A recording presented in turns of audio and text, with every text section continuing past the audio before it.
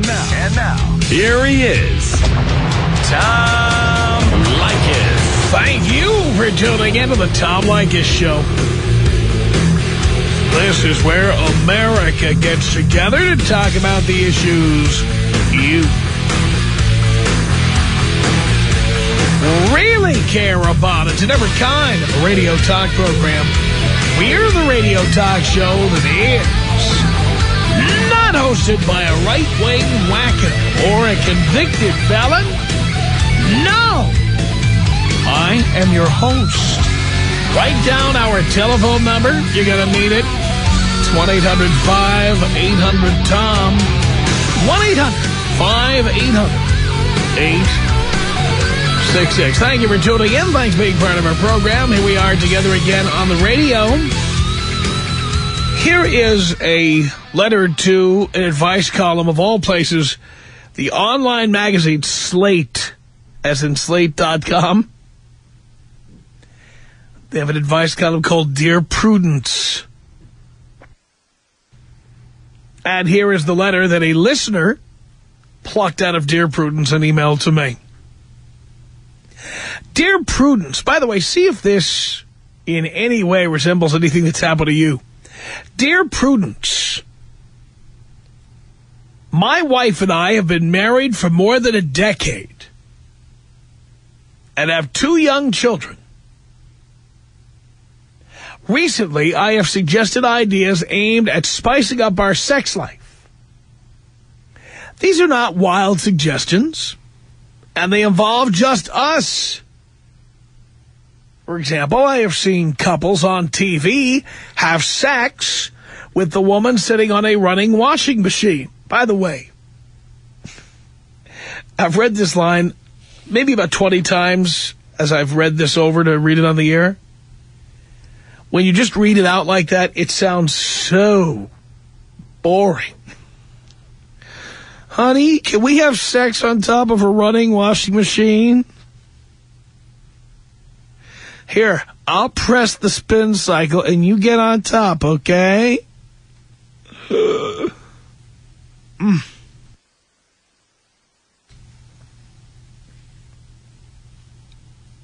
So he says, uh, I've seen couples on TV have sex with the woman sitting on a running washing machine.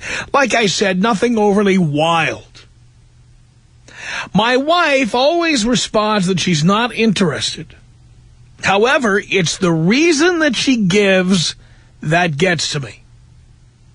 Here's what she'll say. I did that with someone else before I met you. It wasn't that great.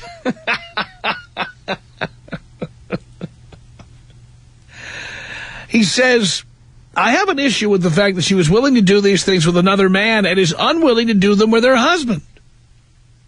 I have expressed why this hurts. Her response is to laugh it off and say something like, you had your chance before you met me. You should have done it then. Boy.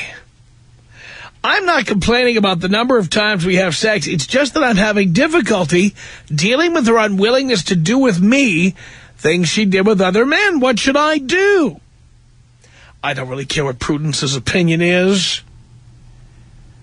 Let us take a look, though, at uh, some of the things he said here.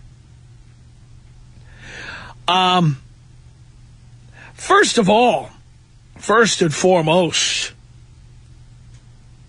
you know, why would somebody not be interested in doing something in bed with their husband? Now, I understand if there's pain involved or extreme danger. We're not talking about that.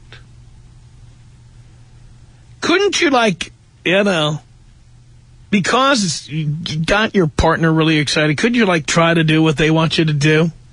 Could you give it a little shot? Eh? But to say that you already did something with someone else before you met uh, the person you're with now, and that it wasn't that great, how stupid is that? Maybe the person you were with was an incompetent lover. Maybe the person didn't know how to do it. Maybe the person doesn't uh, know how to get the job done. Maybe if you tried doing it with me, I'd, I'd get the job done, and maybe uh, the other guy couldn't.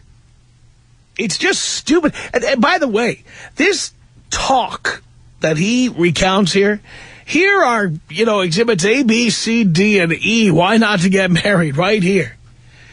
You're saying they're begging your wife to get up on the running washing machine, and she says, no, I already did that. Are you kidding me? And I love that other line. You've had your chance before you met me. You should have done it then. Well, guess what? You are confirming everything I believe about marriage and everything I have said about marriage, and that is that women want to, quote-unquote, settle down with Poindexter.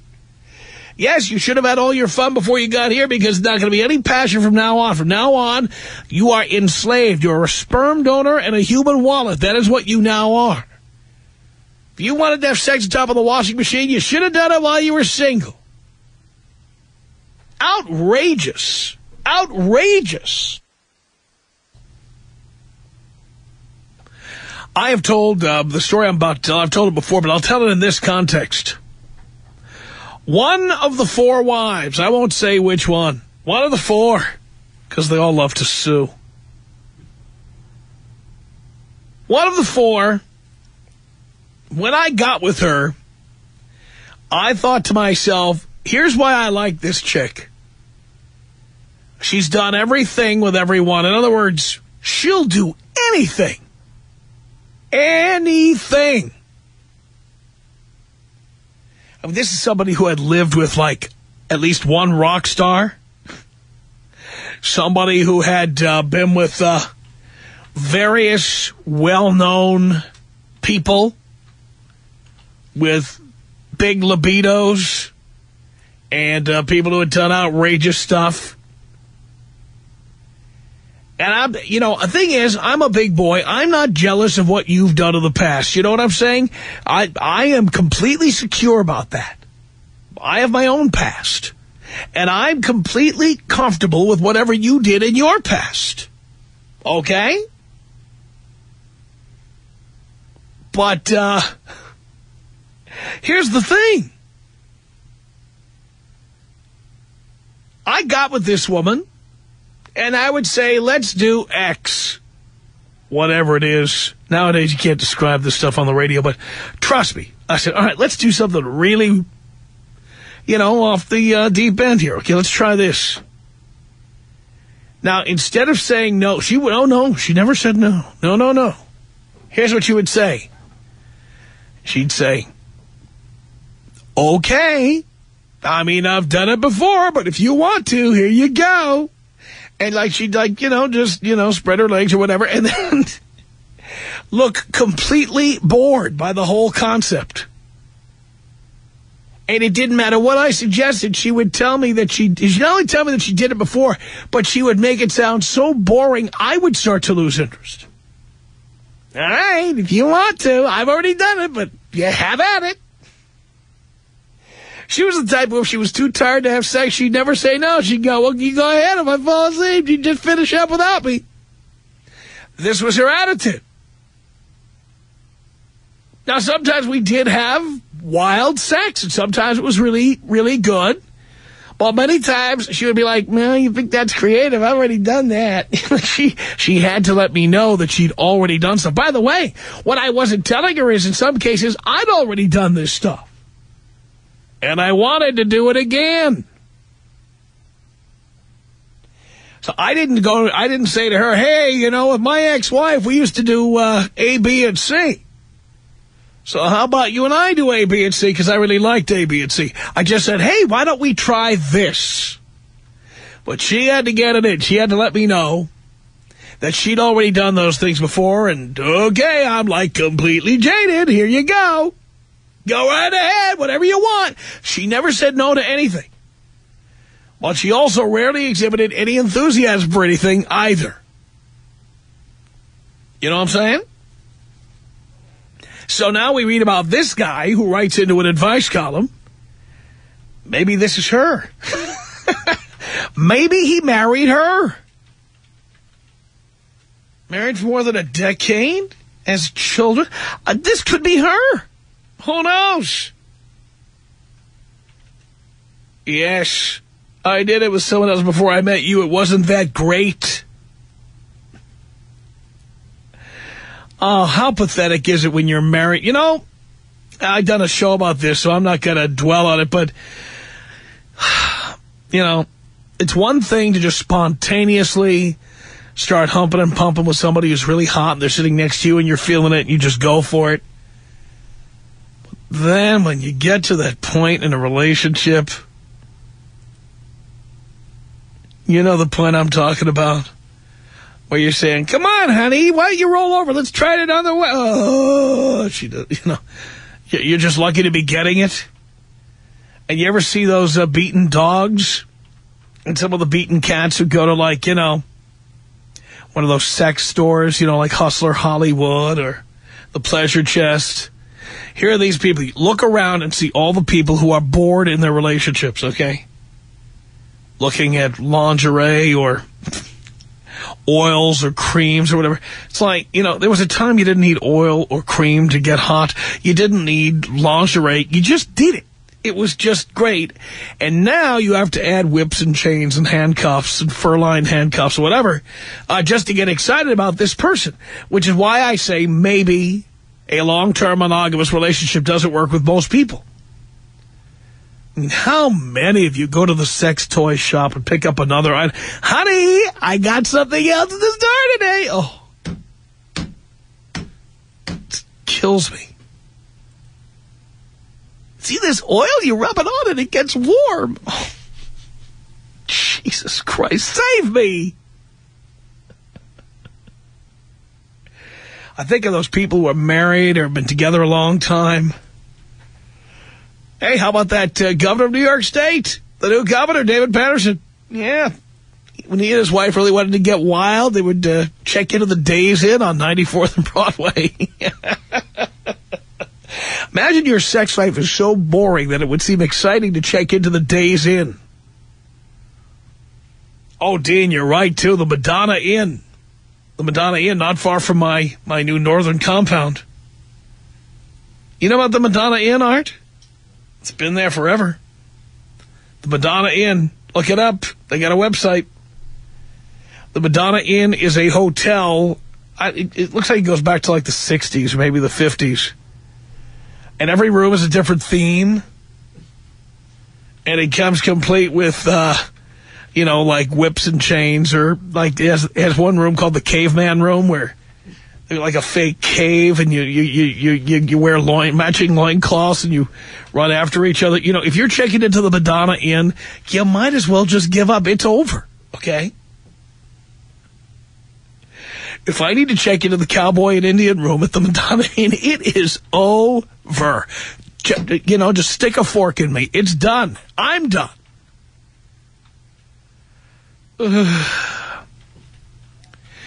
so, uh, what do you think about this letter? What do you think about it? The woman who says, oh, I did it with someone else before I met you. It wasn't that great. Have you ever been with a person like that? Let's say you're that guy. It's time to go, right? I mean, come on. I talk about this all the time. When do you leave? How do you leave? Here is an example of A, why you don't want to be in a long-term relationship.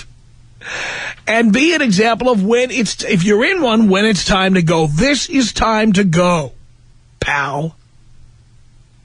Don't you agree? Tom it's The Tom Leykis Show at 1-800-5800-TOM. Thank you for tuning in. Thanks for being part of our program. We appreciate it. It all started with a letter to an advice column from a woman who's been married for over 10 years, has two young kids, and now wants to spice up her sex life. Uh, you know, uh, again...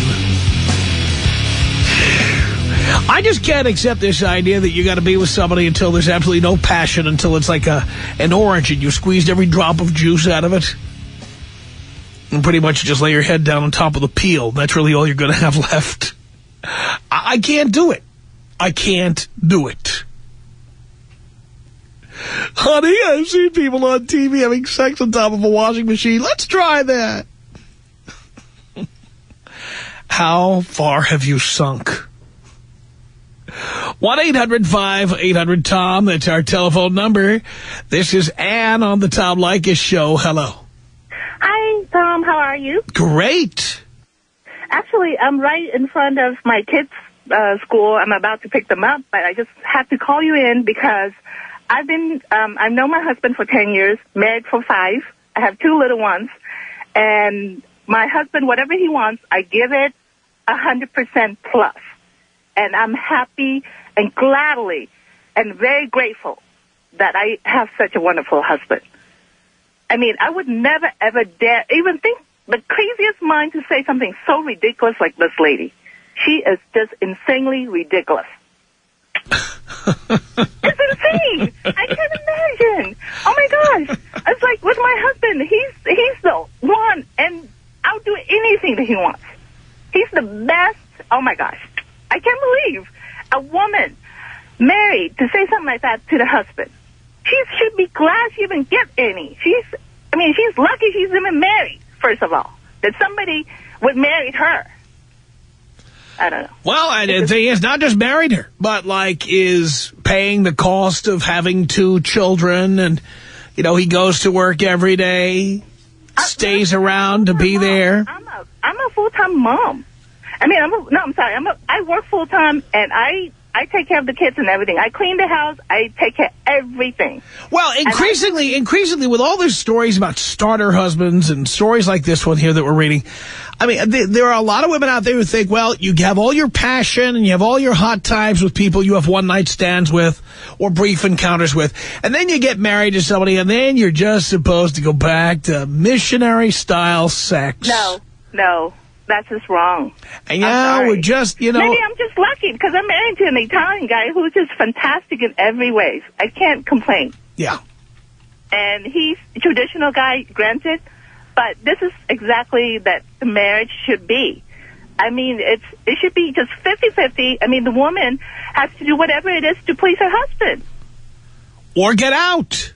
Exactly. Why get married in the first place? My God. I'm telling you why women get married. They get married so they find somebody who could be a sperm donor and a human wallet. No, that's just wrong. I'm sorry, I don't agree with that. There's a lot that's of that out wrong. there. I know. I mean, I know. I mean, though, most of the time when I listen to you, I laugh about it. Granted that I don't, you know, agree on a lot of things. But this, today, I had to call in because I completely agree with you. And everything that you said about this lady, it's just crazy. Mm-hmm. That's just unacceptable. It's very common. It's very common. For me, as a woman, I mean, I do my fair, more than fair share. I go to work. I make sure I make the money. I bring in the money as well as my husband does. I share that load. I don't want to be a free loader, for example.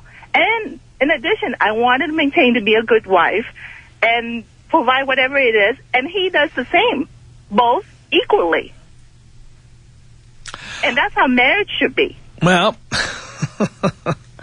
uh, it seems to me that it's not that way. But I thank you for the call, Ann. 1-800-5800-TOM. That's our telephone number. Here comes Brenda on the Tom Leykis show. Hello. Hi, Tom. Hi. I don't know if you have to ask me a question first. Well, you, well, you, you called me. Well, I'm I'm in a similar marriage. I've been married two years, and there's no passion, there's no heat, and I happen to be out on a job, and I met somebody else, and it's very hot. It's very hot. And me and my husband, we have no children together. I have some from a previous marriage, but we don't have any, and I don't see our future going anywhere. Why do you stay with him? Um, it's coming to that point where I just, it, it feels funny because this is my third marriage. And I So you're know, seeing a pattern developing here? Uh, no, because each one was different. Each one was totally different and why I No, but see, each one was a marriage. Let's start with that. that they, was the only thing they had in common. Yeah, but guess what? That See, I say the uh, institution of marriage is outdated, it's broken, it's unfixable. Right. Because people, as I always say, people are only as faithful as their options. Well, a ring on your finger doesn't mean that you have a chastity belt on. Oh, on the contrary. Uh, many people want you more when you have a ring. Oh, definitely. It doesn't matter if you're married or not. When there's an attraction, there's an attraction. Right. So, uh, by the way, did you start banging other guys on the side of the first two marriages or just this one? No, just this one. First time you've ever done. But you've only been with him two years. Yeah, I know it sucks. How many kids do you have? I have four. By how many fathers? Um, I have two by my first husband, two by my second. Mm-hmm. And now, and I got totally fixed after the last one, so now I'm just having fun. Right. Yeah. So did you get married for passion or did you get married because this guy can help you support four kids? Um, I no, I don't need his support. I, I don't, I don't receive. So if there's no passion and you don't need his money, why did you marry him? Um, because everybody was telling me he was a good guy. That's it? Yeah. Not enough. Yeah, no, it wasn't. It really wasn't. And I think I stay with him because I, I feel like, um, I, I feel what's, how everybody else is going to feel. Oh my God, she got married in the last two years. Poor schmuck, you know. I, I just, it's one. Why don't you just stop getting married? Oh, definitely. I mean, why don't you divorce him and then just be done with it? That's what I was thinking because I'm not, I only have one more year here in California and then I'm gone. And I just don't see him going. Where are you going? Um, Ohio. I bought property in Ohio. And why, what is it about one year? Um, I'll, I'll have my, uh, retirement in with my, my previous employment. You're, you're 38 years old. Yes. What are you retiring from? Um, I'm actually a city bus driver. And you can retire at 39 with a full pension? Um, no, not a full, but a partial, but it's okay. I just don't, I, it's kind of like I want to get out of California, and I've just bided my time, and I figured, well, I'll just put my 10 in, and then I'm gone. So why don't you get the divorce done now? Do you want to be flying back and forth from Ohio to testify? Um, no, I mean, there's nothing really that we have together, so I don't have that, that issue. And if, and if I wanted a divorce, he'd just basically roll over. He rolls over for anything. And Except I think that's the sex. Problem. Yeah, well, he'll roll over for that, but it's not good. And, And that's the sad part. and was it ever good? Yeah, it was good, but now it's just becoming a routine. Everything's routine. You know what he's going to do just before he does it. Right. Yeah. It's Which always routine. is the basic flaw in marriage and long-term relationships. Yes. And sometimes you just need something to just get the heat of the moment up. And and some people have that their entire lives. They know what they're doing and they enjoy doing it. But, but why did you go out and marry somebody who wasn't great in the sack? Clearly, oh, sex is important to you. No, it's very important to me. And like I said, he was great. He did everything I wanted because I showed him what to do. I showed him what I Yeah, but if you had to show him what to do, what was the point of that? Uh, well, some guys need that. Yeah, but guess what? Tho- those guys should be with women who have less experience. Well, women who, how about women who don't like sex that much? Let them, let those people hook up. Oh, God. Why are you with somebody like that? Well, you figured if you teach them what to do, they got it down. They It doesn't, no, you know what? To me, out of their shell. can I tell you something? Sex is a matter of trial and error. It's a matter of doing whatever you dare to do, remembering the stuff that worked well, and then continuing to do more of that. If somebody has to walk in and teach you, like they're teaching you how to do Pilates, I don't think it's the same. We're talking about passion and lust here. I don't think that can be taught. You either are a passionate, lustful person or you're not. You got a point there. I don't think you can teach that. I, just like I don't think you can teach someone to be a comedian. Or or teach somebody to be a, a, a, a, another kind of entertainer. Teach somebody to be a singer. You know, eh, you have to have some basic talent and passion for it before you can be, you know, guided or instructed in any way.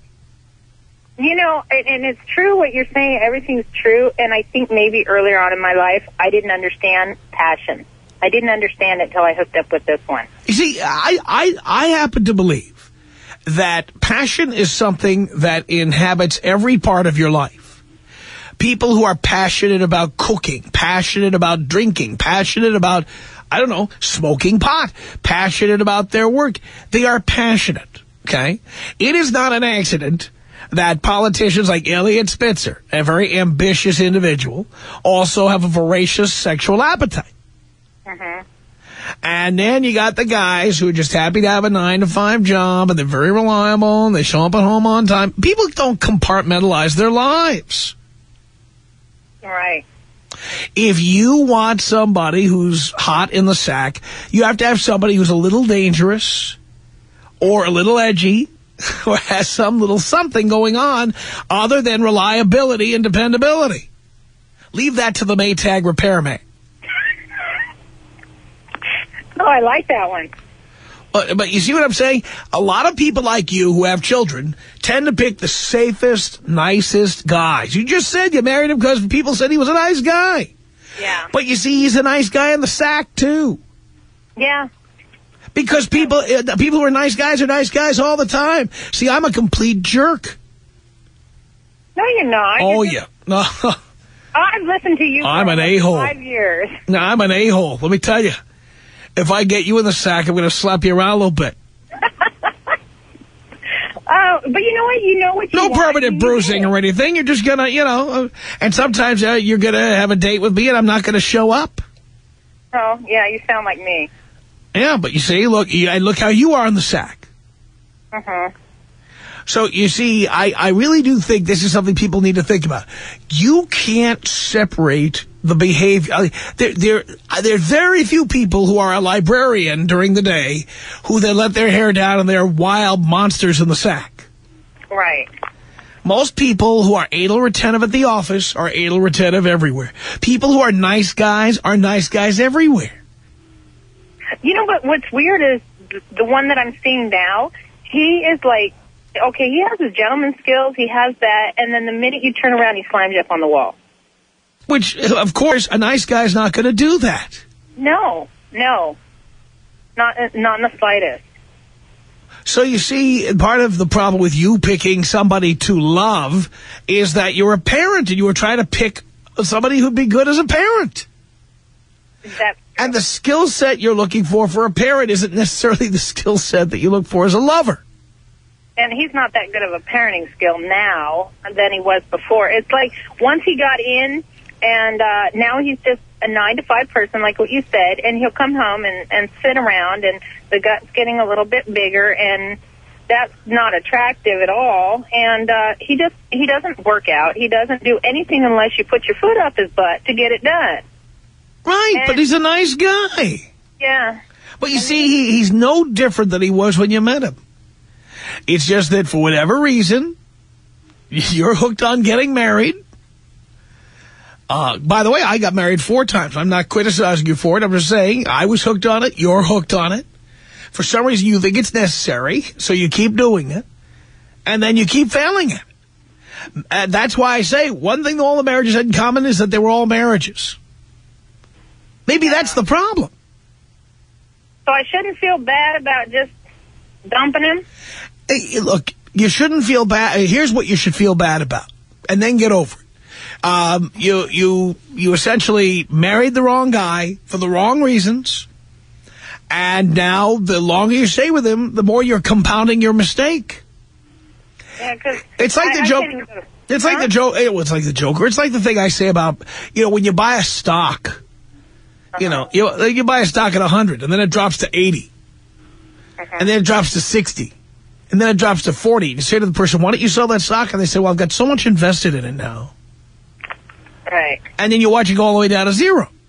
Yeah. That wouldn't be a good idea, would it? No, it's kind of like the the reason it's cheaper to keep her. But that's what you're doing now. Wow. And so let me ask you this one question: When you have a guy and he has the passion, is it just for the beginning? Maybe, maybe go not. away? But you know what? If you're not married to him, when the passion goes, so do you. By the way, I think the minute you start getting tied down and you start getting checks with your names printed on it and you start getting your mail at his address or him at your address or whatever, and you get all excited about that stuff, instead of being excited about being slammed up against the wall, the, the, the passion is gone. It's done at that time. Oh. Just, So what you need to do is it, the idea that somebody could leave at any time is what keeps it hot. People are there because they want to be there, not because they're roped in or chained in or handcuffed in. They are there because it's hot. When it stops being hot, there's no reason to be there. Gotcha. And so that's how I look at it now. So you don't ever plan on getting married again? It's not the plan. Not in the plan. It's not in the plan. Okay. And, and, and the thing is, I don't need to be married. What do I need to be married for? I don't even have kids. What do I need it for?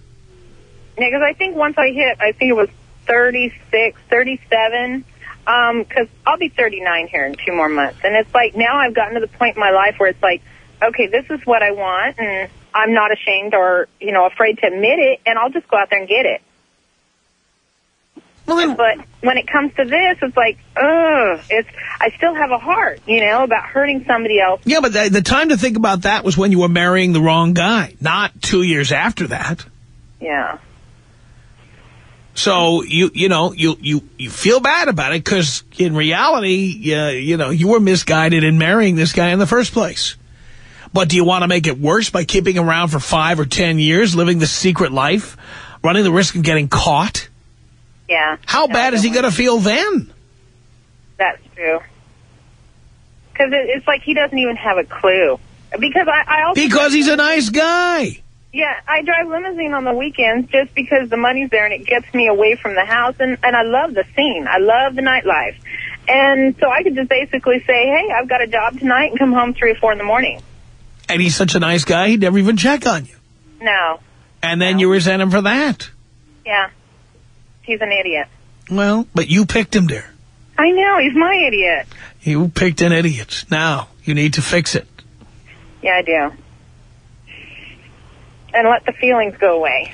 Darling, there were no feelings in the first place. You feel sorry for him like if you adopted a Cocker Spaniel who nips at people. Yeah, I do. Um, you know what? I'm not even upset about it. I'm just not upset about not wanting to be with him anymore. So it's, uh, darling, it's time to go. Yeah, you're right. It's time to go. Thank you. Thank you. Tom Leykis. 1-800-5800-TOM. 1-800-5800-866. Leykis. This hour, in case you're just joining us, we started off with an email that was sent to an advice column at Slate.com called Dear Prudence. The letter went like this. Dear Prudence, my wife and I have been married for more than a decade and have two young children. Recently, I have suggested ideas aimed at spicing up our sex life. Oh, boy. These are not wild suggestions, and they involve just us. For example, I've seen couples on TV have sex with the woman sitting on a running washing machine. Like I said, nothing overly wild. My wife always responds that she's not interested. However, it's the reason that she gives that gets to me. She says, I did it with someone else before I met you. It wasn't that great.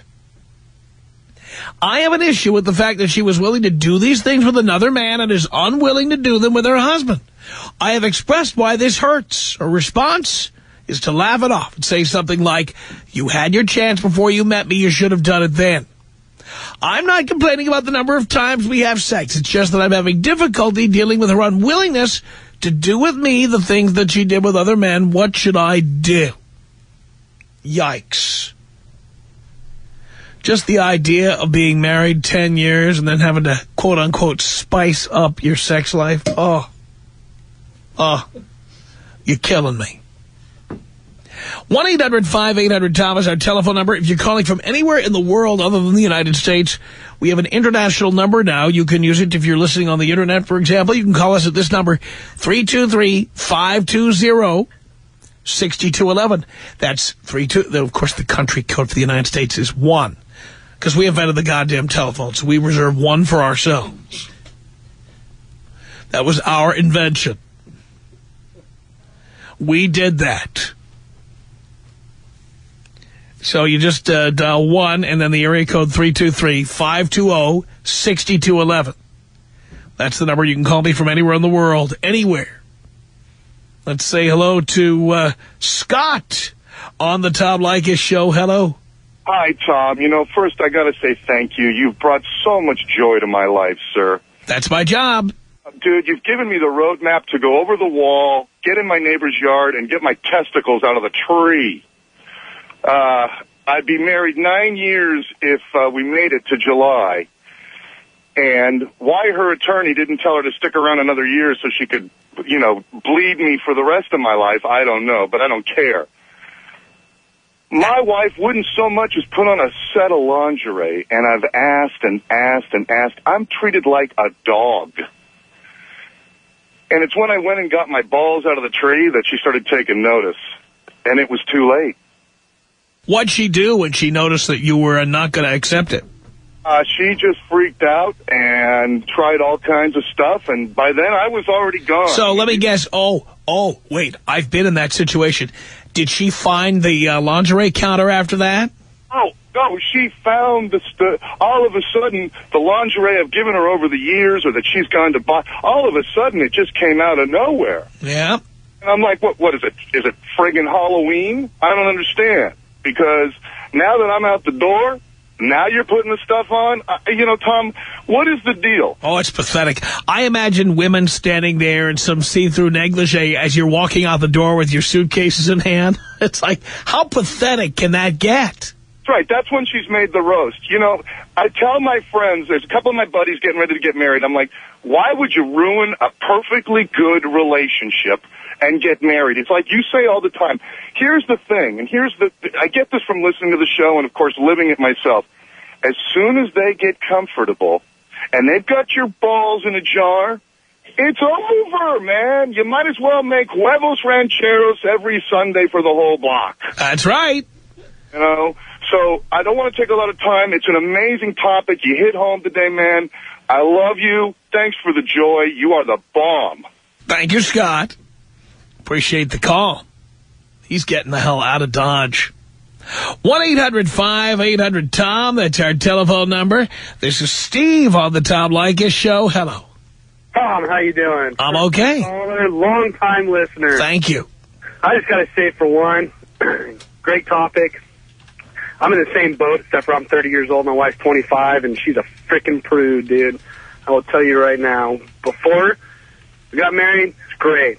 After, I'm telling you, women say I do to say I don't have to anymore. On top of it all, they're so dumb. They're naive. They're just, seriously, they should be their own species because they're the stupidest people in the friggin' world. Well, of course, she was that stupid. She wouldn't have your name on the dotted line of that marriage contract. Yeah, hey, I got you there, huh? You're not Yeah. that stupid. What's that? She's not that stupid. She's got her claws into everything you earn now. Oh, yeah, she does. Plus, we got three kids, which, don't get me wrong, I love my kids, think they're great. But talking about a boring relationship, I'm telling you, it's the same freaking thing every night. Well, why do you stay? Wait, wait. Why do you stay there? Because I got three kids. Yeah, why couldn't you uh, get an apartment in the neighborhood and just uh, hang around? Yeah, that's, that's, uh, I don't know. She, uh, you know, she'll probably take me for everything I have. Well, she's going to take you for, the longer you're married, the more she can take you for. Keep in mind, she not only gets 50% of everything you made today, but for every two days you stay, she gets another day of vagina money. Yeah. Now, now, uh, now, I was told if they, they can't get alimony if they if they work, correct? Well, that varies too. You need to talk to an attorney. Because if she makes less money than you do, they still get alimony sometimes.